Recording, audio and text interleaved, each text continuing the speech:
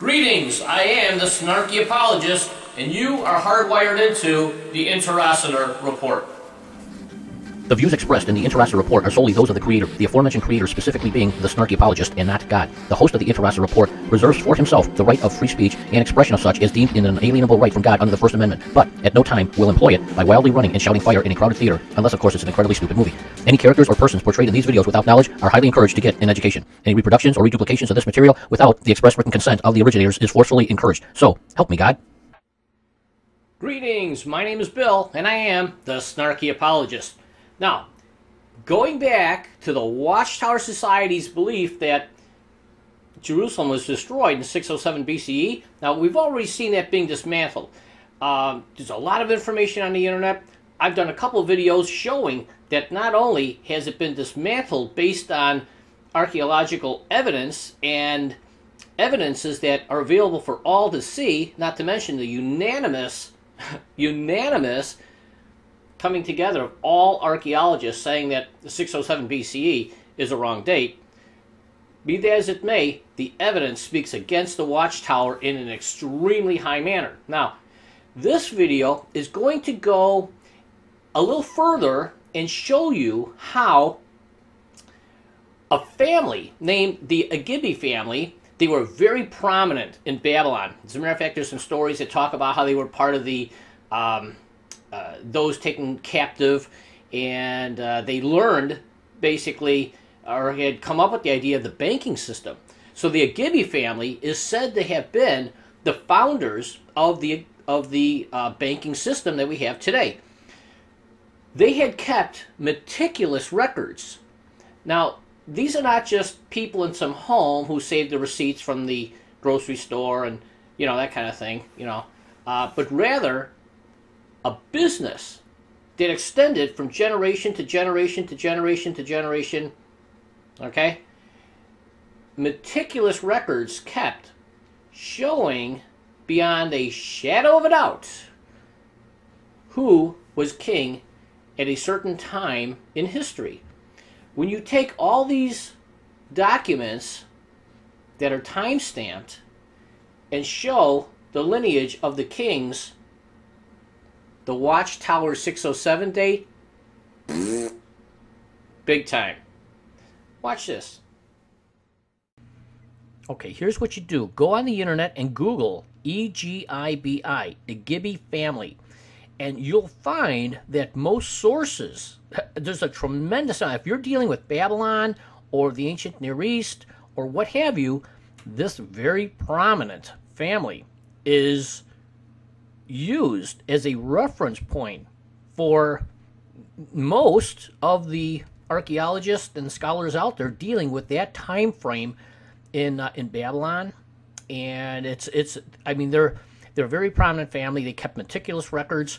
So we know that because of the volume of books that are written out there uh, that that use them as a reference point we know we have accuracy. So with that in mind let's move on the piece of evidence that we're going to look at today is known as prosopography.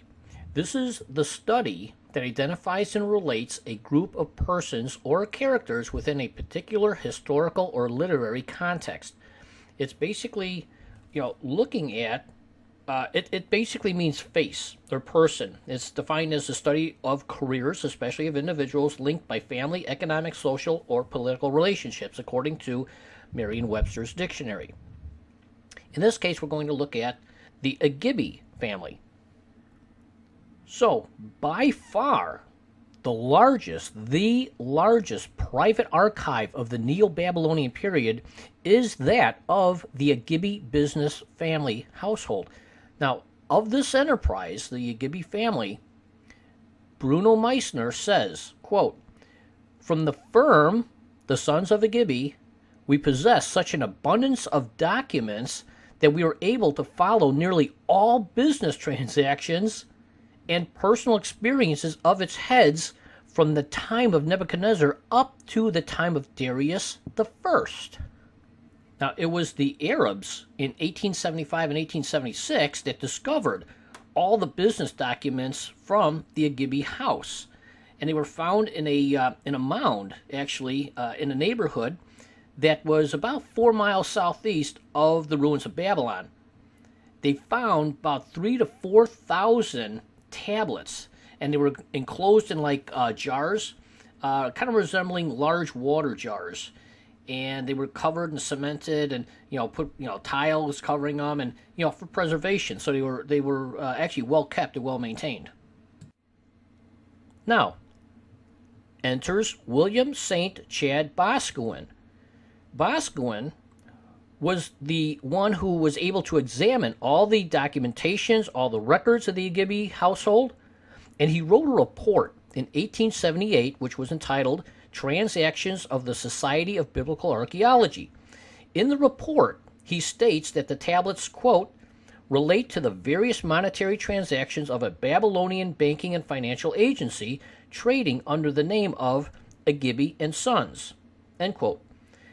He says further that the tablets, quote, relate to every possible commercial transaction from the loan of a few shekels of silver to the sale or mortgage of, of whole estates whose value is thousands of manas of silver.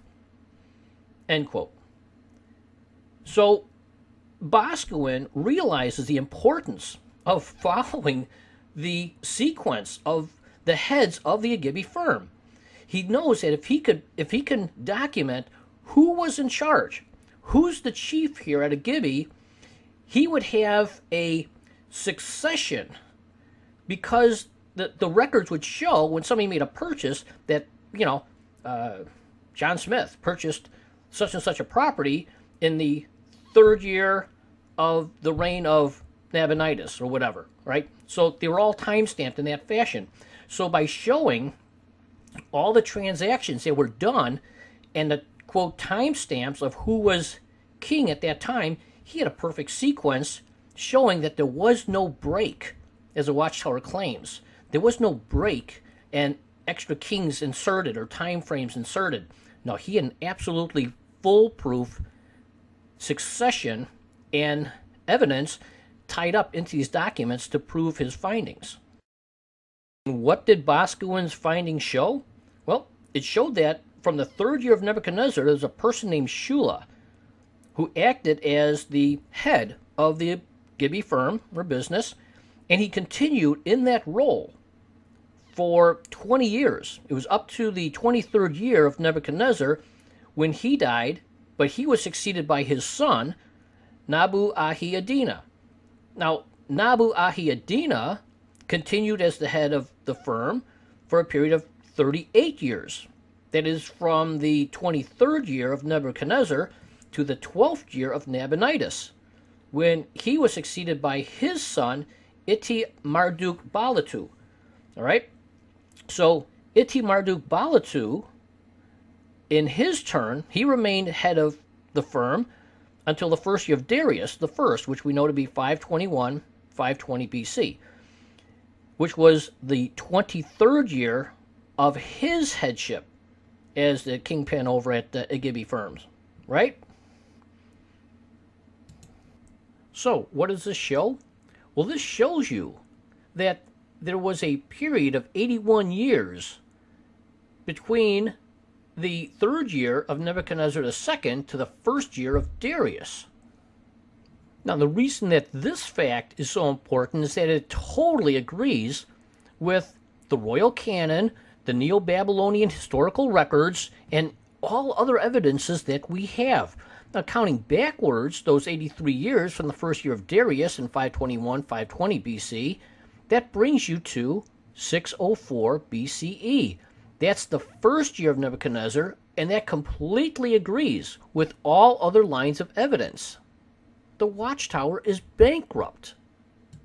And and you know, just to add insult to injury, which when it comes to the leadership of the watchtower is always a lot of fun, um, not only does this cover the Neo Babylonian period, but because of the extended family and the decades of the, the Egibi household, they've got records that extend beyond the Neo Babylonian period and way into the Persian era. So, where are we left? Well, here's the takeaway on the whole video. You ready? Number one, the Egibi firm banking records. Accurate? Yeah, you bet. Number two, it documents the chronological order of the Babylonian kings. Number three, it validates the sequential order of the kings that oppose Watchtower teachings. And number four, the Watchtower is once again busted and proven to be a false teacher.